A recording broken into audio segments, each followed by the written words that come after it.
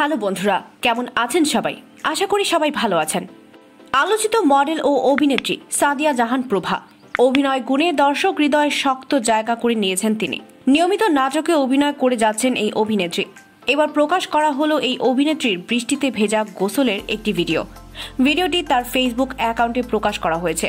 গত আঠারোই মার্চ প্রভা তার ফেসবুক অ্যাকাউন্টে পনেরো সেকেন্ডের একটি ভিডিও প্রকাশ করেন। বেগুনি রঙের একটি শাড়ি পরে বৃষ্টিতে নিজেকে মেলে ধরেছেন তিনি। টিপ টিপ বৃষ্টিতে একটি গানের সঙ্গে নেচে নেচে গোসল করেছেন তিনি। কিছুদিন আগে প্রভা লাল শাড়ি পরে একটি ছোট্ট ভিডিও প্রকাশ করেন। সেই ভিডিওটি সোশ্যাল মিডিয়ায় খুবই ভাইরাল হয়েছিল। সোশ্যাল মিডিয়ায় বেশ সক্রিয় এই অভিনেত্রী। নিয়মিত নিজের ছবি ও ভিডিও পোস্ট করে থাকেন তিনি। প্রভা দু হাজার পাঁচ সালে মডেলিং দিয়ে সবিজে নিজের ক্যারিয়ার শুরু করেন। এরপর থেকে নির্মিত নাটক ও বিজ্ঞাপনে কাজ করে যাচ্ছেন।